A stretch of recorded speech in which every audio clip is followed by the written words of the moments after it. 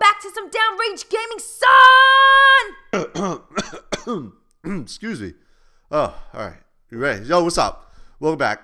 And I left you guys last week when I was talking about my deployment to Kuwait. And if you guys didn't know, this is my Downrange Gaming channel, video game channel, where I talk about my military experience in the United States Air Force.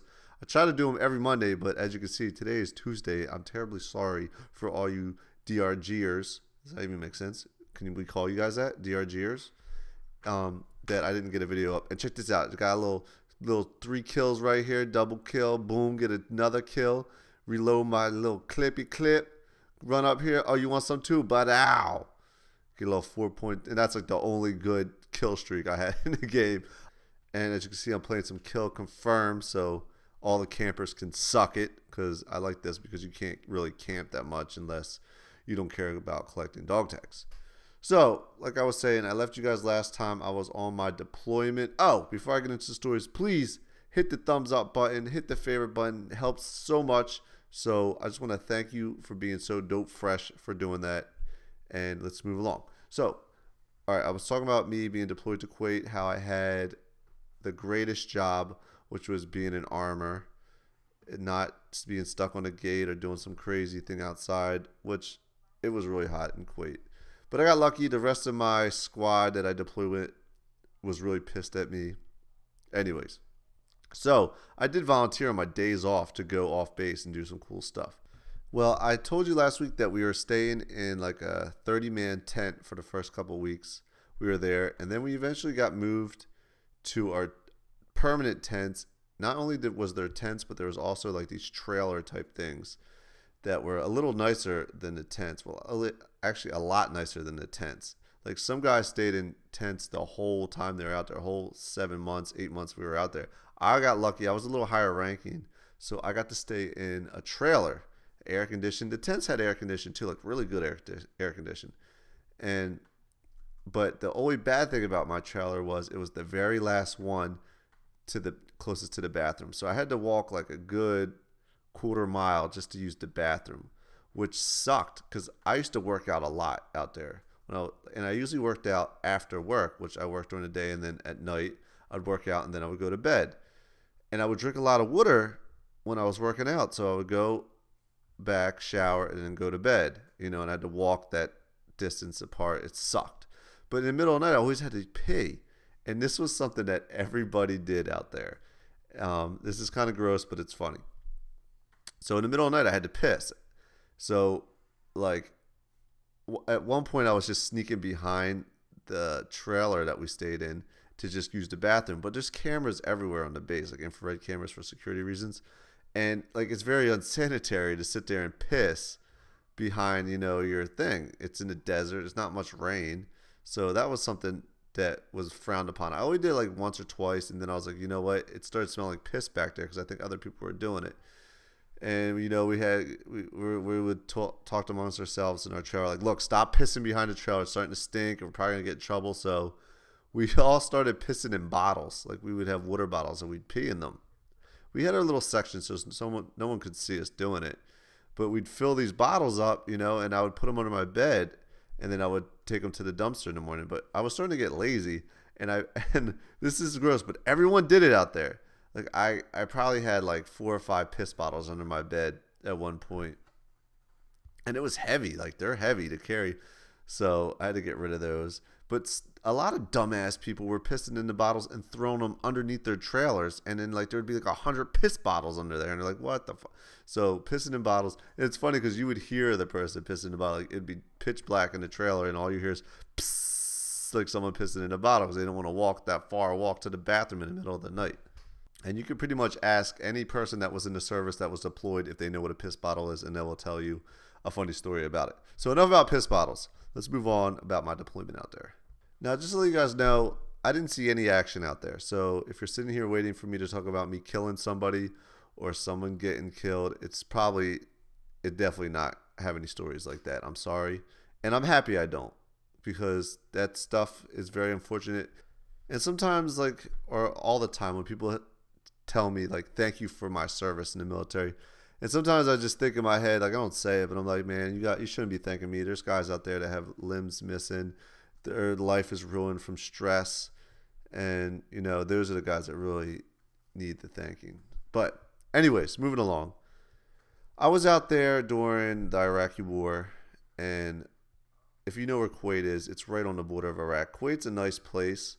It's really nice. They have a nice like cities. It's very built up. I I think if I'm not mistaken, because I haven't know I know I have a lot of viewers that are from Kuwait, and I don't know if this is true or not, but this is what I was told when I was out there. Like if you are a 100% Kuwaiti uh, person, like you're from Kuwait and all that, born Kuwait, I forget the rules, but you actually get paid like a whole like people rage quitting because I'm just we're just whooping people's asses. But what I was saying about the Kuwaitis, you actually get paid, I guess, by the government like a big amount of money just to be a citizen because they make so much money from oil that they can just give it to their people.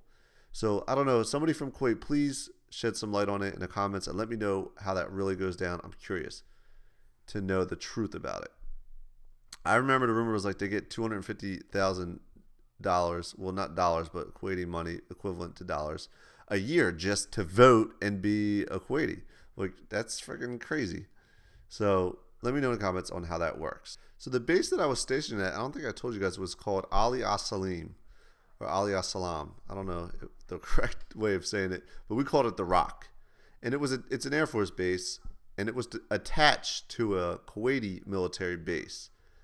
And I went on the Kuwaiti side a couple times, you know, for stuff I had to do. And there is a wall and a tree that is really spooky and freaky looking, and there's a lot of Kuwaiti people are probably gonna. I don't know if you guys would be offended when I talk about this, but the wall had a lot of blood on it, and the blood was left from Desert Storm. I don't know if you guys remember Desert Storm is when Saddam in Iraq invaded Kuwait and took over Kuwait, you know, and America came in and pushed Iraq back out of Kuwait. So back in Desert Storm times, they they um, took over this base Iraqis took over the base and they lined up all the, the colonels and higher ups on that base against this wall and shot them and executed them on this wall. The blood's still on the wall and hung the base commander from the tree. That's the rumor that I got when I was out there. I don't know how true it is, but there was blood on the wall. It's pretty, and a tree is there, and it's pretty freaky looking. But I just thought that was very. I should have took a picture of it and all while I was out there, but uh, maybe it would have been disrespectful. So I'm gonna tell you guys about desert queens. How many people know what a desert queen is? Raise your hand. Okay. So none of you guys do because I can't see in the comments. So a desert queen is basically American woman that's in the military. So she's deployed with us and she's ugly. Like really ugly. Except when you get deployed, for some reason she gets really hot. And this is so true. Like all the ugly girls start becoming better and better looking while you're deployed because there's no girls out there and you're going crazy.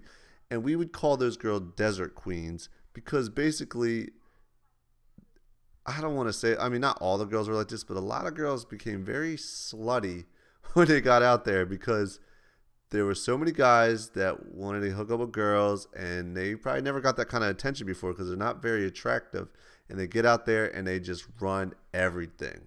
I remember this one desert queen, not going to say no names, but she slept with everybody.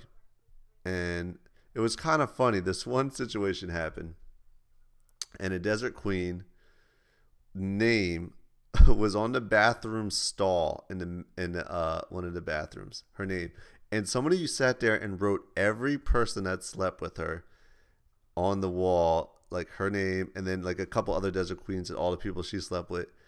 And it was true. Like it was a true thing. Like people and it's so funny because that's how bored we are. We all that like that's what we talk about. Like yo did you see in the stall the names that that desert queen i'm not gonna say her name is slept with? And then it would be like some names like oh snap. And then like some of the names were like higher ups like you know like high ranking like they shouldn't be doing that but they're out there doing that and I remember some reason, like two days later, the thing's painted. Once it spread, the wall got painted.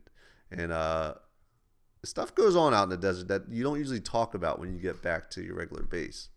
And I didn't mention to you guys that you know, Kuwait is a Muslim country, and pornography is very forbidden there. Like you cannot have any kind of pornography in that country. It's against the law, I believe. But so for military soldiers, you know, you couldn't bring any magazines, any videos, any porn, nothing. They searched everything to make sure you didn't bring anything. If you did, you know, you get in huge trouble. So we didn't have any of that stuff out there either. So you know how crazy it got, especially with the desert queens running around. And it was funny because you know people snuck stuff in. So when I got to my trailer, it had a, there was a TV in there, and it had a VCR built onto the TV. So I get out there and I hit eject on the VCR, and there's a video. I think it was like Top Gun, you know, the movie Top Gun. So now we watch Top Gun. I hit play. It's a porno. Someone dubbed over Top Gun a porno, which was smart. Like it was very you couldn't even know. So I just threw it out because I didn't want to risk getting in trouble. So that's gonna be it for uh, my downrange gaming video today. Look at this dude. That's what he gets for rocking akimbo with those guns, noob. So thanks for watching. Peace on the streets. I'll see you guys next week.